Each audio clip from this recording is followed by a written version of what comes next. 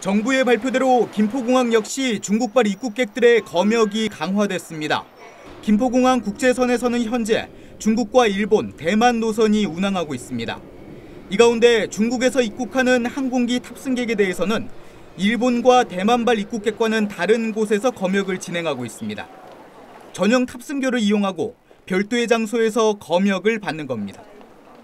검역 과정에서 이상 징후가 발견될 경우 잠시 머무르는 공간도 따로 마련됐습니다.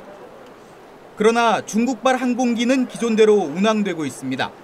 현재 베이징과 상하이를 오가는 국내외 항공기가 김포공항을 이용하고 있습니다. 이런 가운데 국내에서 16번째 확진 환자가 발생했습니다. 질병관리본부는 42세 한국 여성이 태국 여행 이후 지난달 19일에 입국해 1월 25일 저녁부터 오한 등의 증상이 있었다고 밝혔습니다. 또 지난 2일까지 치료를 받았지만 증상이 나아지지 않아 지난 3일 검사한 결과 양성으로 확인됐다고 설명했습니다. 이처럼 중국뿐 아니라 다른 곳에서 입국한 내국인이 신종 코로나 바이러스에 감염된 걸로 확인되면서 입국 제한이나 검역을 한층 더 강화해야 하는 것 아니냐는 목소리가 커지고 있습니다. 티브로드 뉴스 김대우입니다.